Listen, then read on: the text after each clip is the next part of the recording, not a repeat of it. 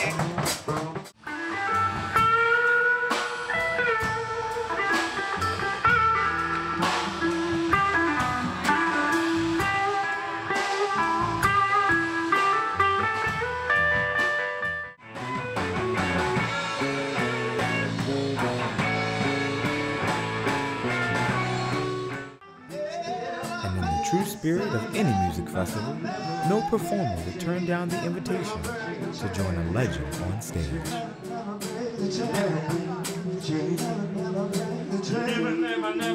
Never,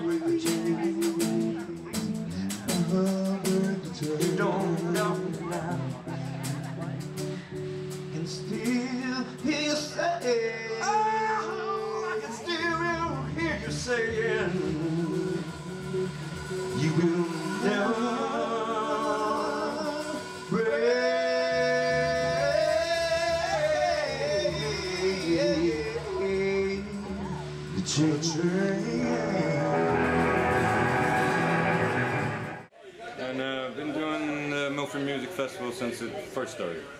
Um, it was down the very first year at the Best Western.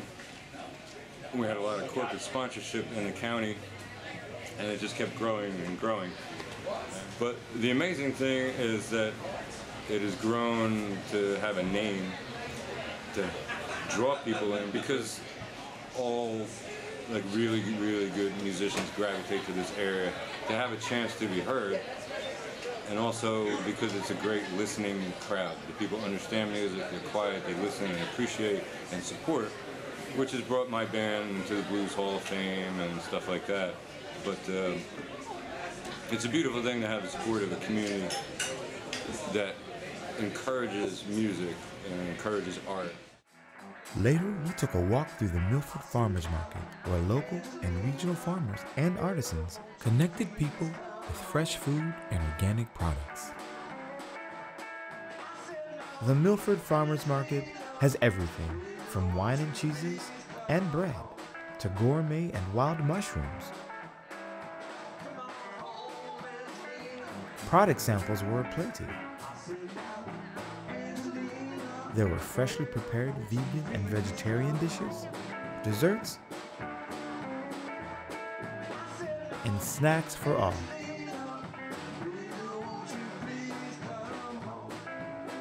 You could even tie-dye your own shirt with a donation in support of the Columns Museum. As we took a walk through town on this lovely summer weekend, we experienced great people, art, and a few other special sights along the way.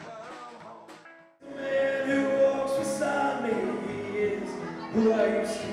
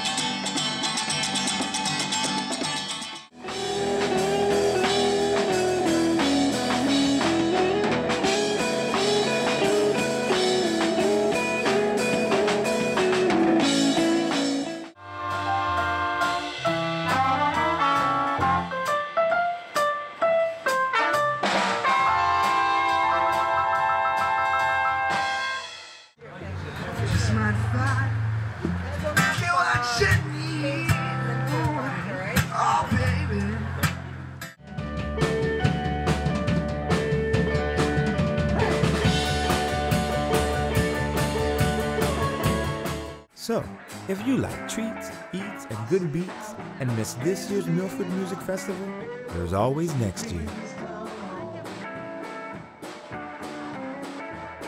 For more information, visit milfordmusicfest.org.